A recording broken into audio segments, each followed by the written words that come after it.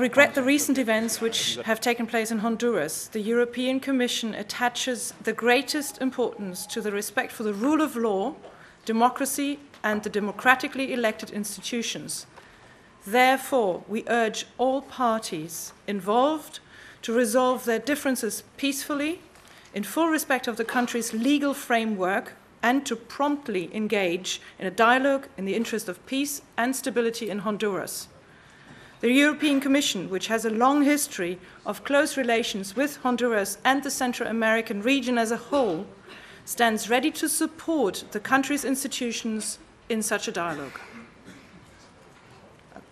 Aujourd'hui, je voulais savoir si tu, si tu comptais nous informer des, des résultats de ces discussions. The services of DG RELEX are going to meet with all the Central American ambassadors this afternoon, and Commissioner Ferrero Waldner will be briefed by the Honduran ambassador tomorrow morning about the situation in the country.